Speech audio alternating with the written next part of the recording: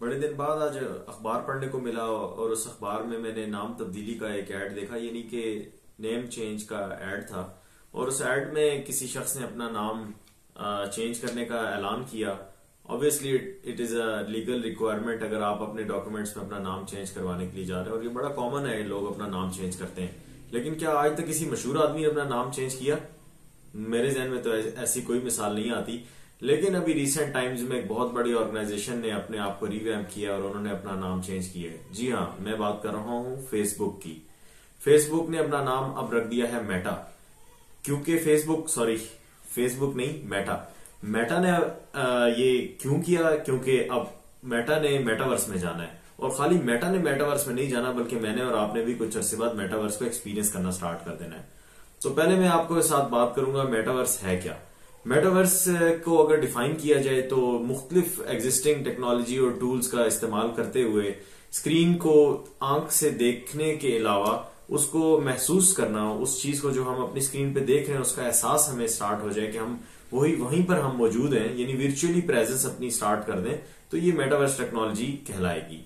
Metaverse technology के लिए हमें augmented reality virtual reality hologram या ऐसे गेयर्स जो कि स्पेसिफिकली हमारे मेटावर्स एक्सपीरियंस के लिए डिज़ाइन किए जा रहे हैं, अगर उनको हम यूज़ करें तो हम जो स्क्रीन पे देख रहे हैं, उस चीज़ को हम महसूस करना स्टार्ट कर देंगे।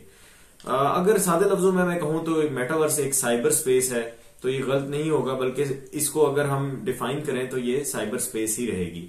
फेसबुक सॉरी फेसबुक नहीं मेटा मेटा ने मेटा ने अभी क्या किया? रिसेंटली उन्होंने स्पेसिस का भी अपनी जो रिवैम किया अपनी, अपने आप को और उसके, उसकी कंप्लीट एक उन्होंने एक डेढ़ घंटे की एक वीडियो जारी की, जिसमें उनके सीईओ मार्क ज़िक्र जिकरबर्ग काफ़ी डिटेल के अंदर अपने फ्यूचर प्लान्स को बता रहे थे। होराइजन के नाम से उनकी जो स्पेस है, उसके अंदर वो लोग आपके लिए एक्सपीरियंसेस क्रिएट करेंगे। और ये एक्सपीरियंस फेसबुक से पहले और काफ़ी सारी कंपनी जो है वो क्रिएट कर चुकी है। फॉर एग्ज़ाम्पल लीपन है और इसके अलावा सेकंड लाइफ पे गेम जिसका अक्सर हमें ब्लॉग्स वगैरह पर ऐड आया करते थे और उस टाइम हम उसको इतना सीरियसली कंसीडर नहीं करते थे। अब हमें पता चल रहा है कि वो काफ़ी नेक्स्ट लेवल पर पहुँच चुके हैं और वो अपनी स्पेसिस क्रिएट करके उन स्पेसिस को रेंट आउट कर रहे हैं, उन स्पेसिस को बेच रहे हैं। वर्चुअल गाड़ियाँ हैं आपकी वर्चुअल प्रेजेंस के लिए आपके एवाटार बने हुए हैं, जिससे आप उन स्पेसिस में जाते हैं पार्टीज़ अटेंड करते हैं। और इसके अलावा मीटिंग्स अटेंड करते हैं। तो क्वेश्चन uh, रेज होता है कि क्या मेटावर्स जो है ये advance form of video game है या फिर ये जूम का एक, एक अजीब सा एक वर्जन है जिसमें हमें कटे हुए इंसान जिस चूँकि मैं कटे हुए इंसान को इसलिए रेफरेंस दे रहा हूँ क्योंकि माइक्रोसॉफ्ट ने अपने uh, जो मेटावर्स को जब उन्होंने कुछ विजुअलाइज करवाया हम सबको तो उसमें लोगों के धड़ नीचे से कटे हुए थे।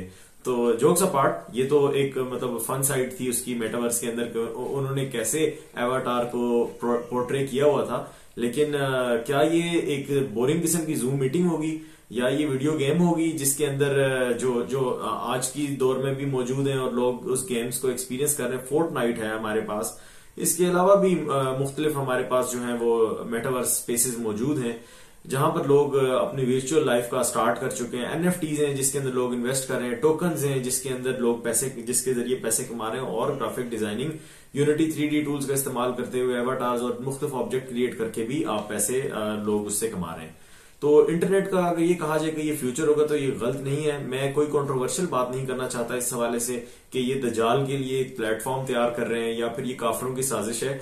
मेरा ख्याल में हमें अपना फोकस इस बात पर रखना चाहिए कि हम जल्द से जल्द चेंज को अडॉप्ट करें, क्योंकि चेंज जो है वो आपको अनफॉर्चुनेटली और फॉर्चुनेटली अडॉप्ट करना ही पड़ता है। Definitely it's difficult to adopt any change लेकिन ये सच है कि एक जमाने में हेलीकॉप्टर पर बैठ के एक आदमी वीडियो रिकॉर्ड किया करता था और फिर जमाना अब ऐसा आ चुका है कि ना उस आदमी की ज़रूरत, ना ना हेलीकॉप्टर के पायलट की ज़रूरत है, ना उस मूवी मेकर कैमरा की ज़रूरत है, ना उस हेलीकॉप्टर की ज़रूरत है। सिंपली एक ड्रोन उड़ाएँ और फुटेज रिकॉर्ड करें।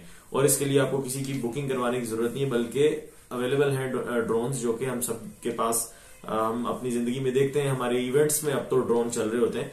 तो रिप्लेस करने के लिए टेक्नोलॉजी टेक्नोलॉजी को तैयार बैठी हुई है। हाँ ये बात ज़रूर है कि आज के दौर में अगर बैठ के मेटावर्स को बताया जाए कि यही मेटावर्स होगा तो ये ये कहना कुछ ठीक नहीं है कि आगे आने वाले दिनों में मेटावर्स के साथ हम कैसे एक्सपीरियंस करेंगे वर्चुअल दुनिया में जाके। क्योंकि जो टेक्नोलॉजी कंपनीज़ हैं, वो इसके गेयर्स के हवाले से बात कर रही हैं। जैसा कि मैंने पहले बताया था फेसबुक मेटा मेटा ने जिस तरह अपने अपने आप को रिवैम्प किया और उन्होंने गेयर्स गेयर्स का बताया। कि गेयर्स वो बना रहे हैं और वो किस तरह से अवेलेबल होंगे, उस पर क्या एक्सपीरियंसेस लोग सारे कर सकेंगे। तो बड़ा फोकस्ड उनकी अप्रोच है। ये ऐसे ही है जिस तरह 1970s में लेट 70s में लोग बैठ के इंटरनेट के ऊपर तबसरा करें, क्योंकि उस जमाने में भी लोगों को पता था कि इंटरनेट की की तरह की कोई चीज़ आएगी जिससे कम्युनिकेशन और डाटा ट्रांसमिशन बहुत इजी हो जाएगी। लेकिन ये किसी को अंदाज़ा नहीं था कि जो प्रोटोकॉल्स होंगे वो क्या होंगे। और इस, जो आज के दौर में मैं ये वीडियो रिकॉर्ड करके आपको ये वीडियो ब्रॉडकास्ट कर रहा हूँ, इसकी तो कोई एज्यूम भी नहीं कर पा रहा था उस दौर में कि ये भी होगा। तो ये टेक्नोलॉजी इवॉल्व करती रहेगी। आज हम 2021 में बैठ के मेटावर्स पे बात कर रहे हैं। 2041 में मेटावर्स किस लेवल पर पहुँच जाएगा और शायद मेटावर्स की भी जनरेशन में अपग्रेडेशन आए और हमें बहुत कुछ देखने को मिले तो होपफुली ये एक ओवरव्यू जो मैंने दिया मेटावर्स का वो आपको पसंद आया होगा। अगर ये अगर आप इस पर चाहते हैं कि मैं मजीद बात करूँ एनएफटीज के हवाले से या मेटावर्स की इन डेप्थ में डिटेल बताऊँ कि कैसे लोग इससे पैसे कमा रहे हैं और क्या क्या इसके अंदर रेवेन्यूज हैं, मैं उस पर भी बात कर सकता हूँ। कमेंट सेक्शन में आपका इंटरेस्ट जो होगा वो मुझे बताएगा कि क्या इसमें मुझे अगली वीडियो बनानी चाहिए या नहीं बनानी चाहिए। और वीडियो को लाइक करें अगर पसंद आई है और आ, मेरे हौसला अफजाई के तौर पर आप मेरे चैनल को सब्सक्राइब कर सकते हैं। वीडियो देखने का बहुत शुक्रिया। थैंक यू वेरी मच अल्लाह हाफिज़।